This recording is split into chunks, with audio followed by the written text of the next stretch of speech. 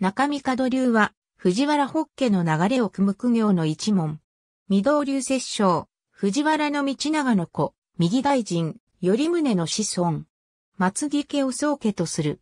頼宗の子、右大臣、藤原俊家の三人の子がそれぞれに家を起こした。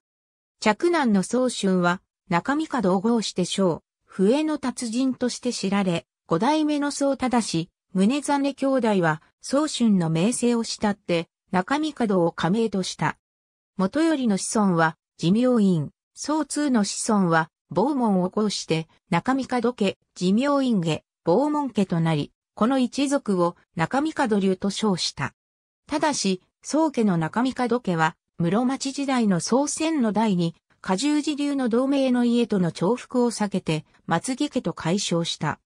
所流としては、寿命院家の所流と傍門家の所流が存在するが、傍門屋及びその所流である白川、高倉、六角の諸家は、室町時代には断絶し、松木家、寿命院家及び演歌をはじめとする、寿命院家の所流のみが、後世に伝承した。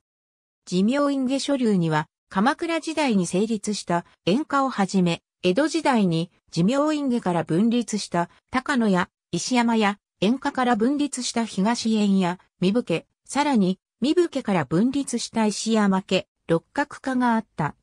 また、室町時代に断絶したものの、源頼朝の縁石として、鎌倉幕府と強く結びついた一条家も、寿命院家の所流である。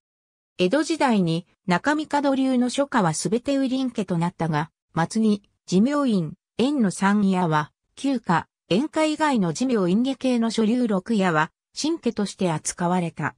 明治維新後の家族令によって松に、縁、身分の三家は、伯爵、寿命院下太六家は子爵に除された。